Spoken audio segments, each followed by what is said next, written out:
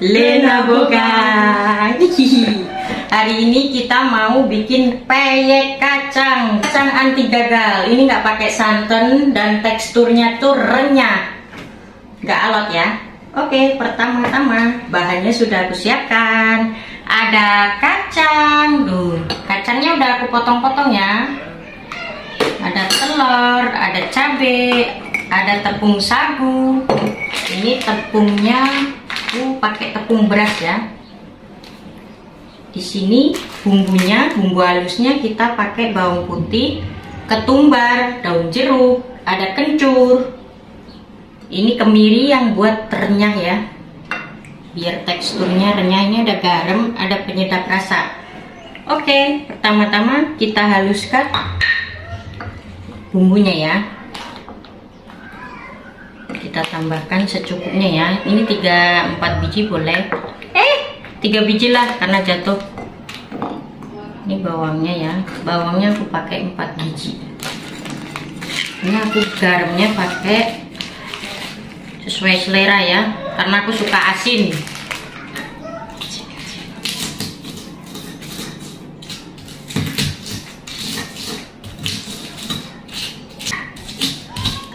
aku ulek? Karena di sini aku lebih suka diulek rasanya tuh lebih aromatiknya tuh keluar. Kalau di blender tuh bawang kayak kurang gimana ya? Kayak kurang harum gitu.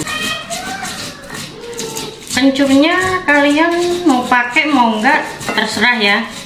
Kalau aku lebih suka pakai kencur karena baunya tuh kayak bau di desa gitu, seger baunya, harum gitu harumnya tuh harum seger gitu. Wangi wanginya tuh pokoknya enak. Yang nggak suka bawangnya terlalu banyak boleh dikurangin ya. Aku suka bawang dan aku suka asin. Ketumbar ya nggak usah banyak-banyak karena ketumbar itu bikin gosong.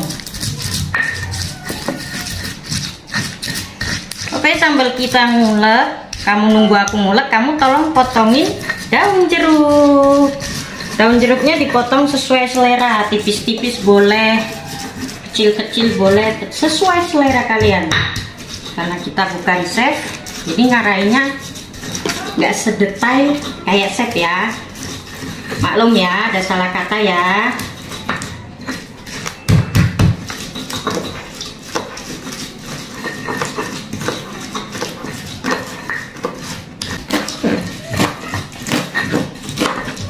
ini sudah lembut kita tambahkan penyedap rasa. Secukupnya ya. Setengah sendok makan jangan banyak-banyak ya. Kalau kalian suka gurih boleh satu sendok teh ya. Satu sendok teh sorry. Bukan satu sendok makan ya.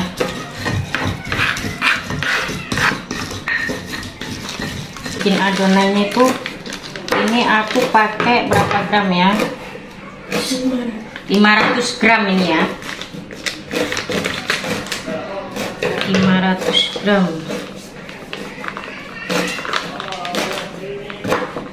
Nah aku malas kebanyakan jadi aku pakainya 250 gram aja ya. Ini udah banyak banget nanti jadinya. Lalu tambahkan air. Kita aduk. Adonannya encer ya guys telurnya guys. Tambahkan telur. Aku pakai 3 butir telur. Dua nggak apa-apa sih dua. Karena pakainya tepungnya 250 gram. Dua aja deh.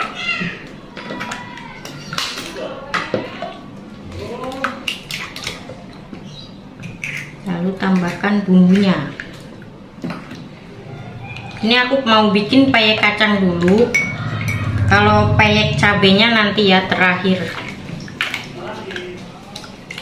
Kita masukkan bumbunya ya.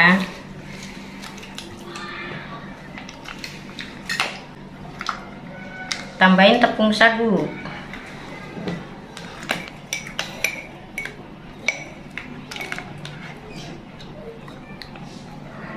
Dua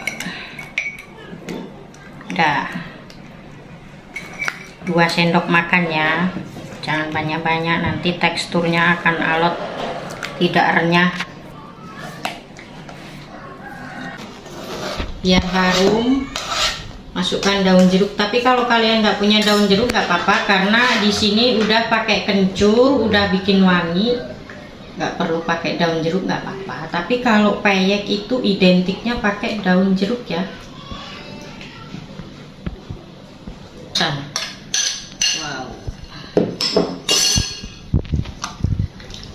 teksturnya jadi begini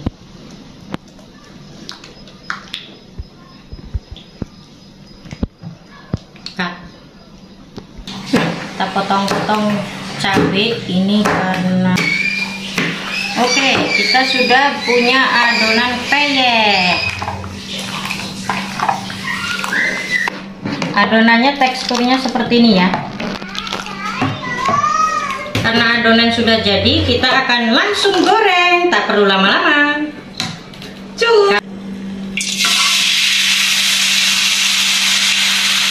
Minyaknya sudah panas guys, dari tadi udah aku panasin.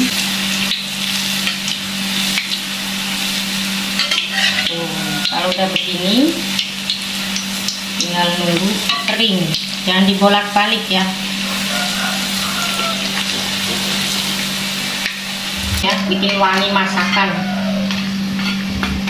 Saja kacangnya harus dipotong-potong ya. Kalau kalian nggak potong-potong nanti tepungnya udah matang kacangnya belum matang. Nah ini kita saring ya. Biar nggak gosong nanti kita nyemplungin adonan lagi. Wajan kita saring dulu sisa-sisa peyeknya biar nggak gosong adonannya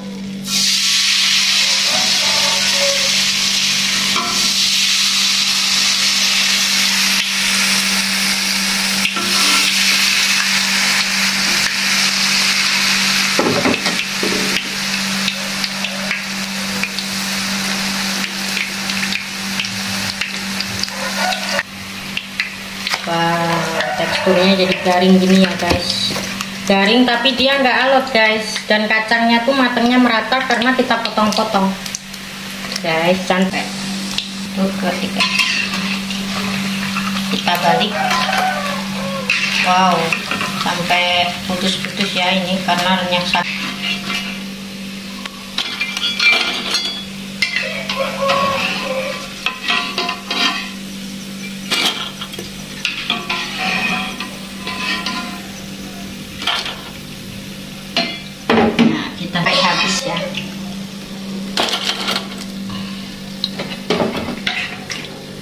sebelum dituang kita aduk-aduk karena takut kelamaan nanti dia menggumpal lagi ya. Kita aduk-aduk.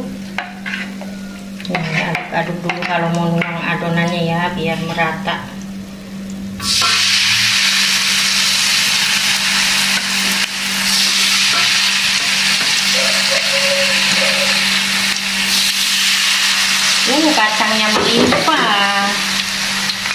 jadi kacangnya tuh nggak pelit.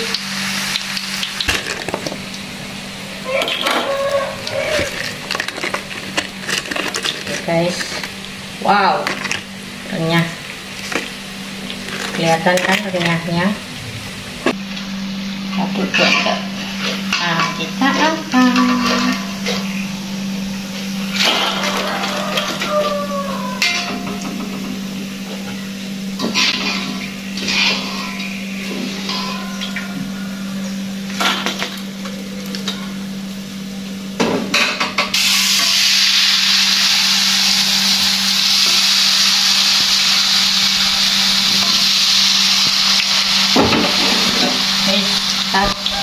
Oke, okay, ini aku mau tambahin cabai ya guys, tuh biar mantap. Wah, aku bikinnya sedikit. Aku nggak enak ya guys.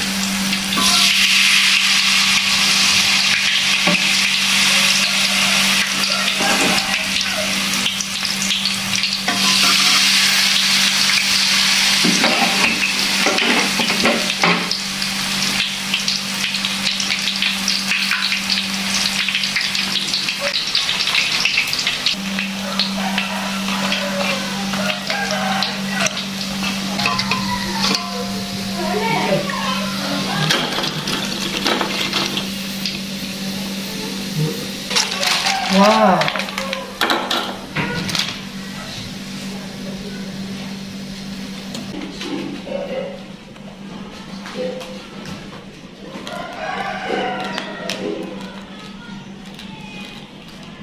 Eh, kacang sudah matang.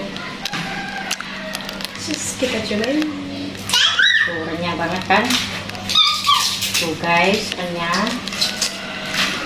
Kalau kalian nggak mau berminyak, bisa kalian taruh di air fryer atau di oven ya, biar minyaknya nggak terlalu banyak. Ini aku mau cobain yang rasa cabai. Gimana? Enak? Guys, ada cabenya.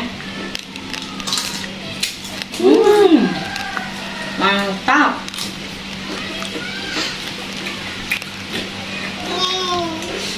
Enak, lezat. Kalian wajib coba resep aku. Nggak bakalan gagal. Pedes. Bagi yang udah subscribe, nonton, share, komen. Terima kasih banyak. Jangan lupa subscribe. Biar aku tambah semangat bikin videonya. Thank you for watching. Assalamualaikum.